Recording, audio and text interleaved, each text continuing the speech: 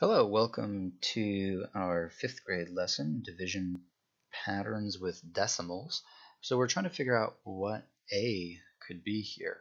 So we want to look at the pattern that's happening and, and look at this. So if we do 375 divided by 10 to the first power, or 375 divided by 10, what do we do? So we move the decimal one spot from uh, 375 to become 37.5. Here, 375 divided by 10 squared, or 375 divided by 100, what are we doing? We're moving one, two spots, as in like 10 to the second power, we're moving the decimal two spots. Down here with 10 to the fourth, when we do 375 divided by 10 to the fourth power, we're moving the decimal one, two, three, four spots. So what do you think? Let's complete the pattern. What's going to happen if we have, uh, we start with 375 and we're going to move it three spots. One, two, three. So what we're looking for, 375 divided by 10 to the third power, in other words, 375 divided by 1,000 is going to be 0.375. Question two. This asks it a little bit uh, of a different way. it should be relatively straightforward to see the pattern. One, blank, three, four. So I'm guessing that A would be probably two, just looking at the pattern. But take a minute to think about it, right? So uh, here we move the decimal one spot. Down here we moved it one, two, three spots. Here, one, two, three, four spots. So 10 to the first power, move it once. 10 to the third power, move it three times. 10 to the fourth power, we move it four, that, four times.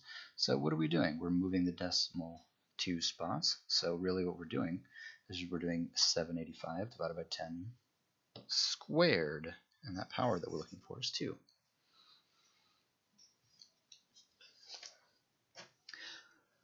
All right, question 3. What is A? So if we do 52 divided by 10 to the third power, or 52 divided by 1,000, what are we doing again? So think about this. Remember, we're going to, the pattern we found is that whatever pattern of how many, uh, the power is how many spots that we're going to move the decimal. So if we move it one, two, three spots, okay, zero for the placeholder here, so it's 0 0.052. Now, what would that give us? So if we had 52 divided by 1,000, we'd be looking at 0.052. This question asks it uh, slightly differently again. So if we're given 795 divided by 10,000, so 10,000, right? So if we go back a second, 10 to the third power would be like 10 times 10 times 10, or a thousand. Okay. So how many zeros? Three zeros. Three.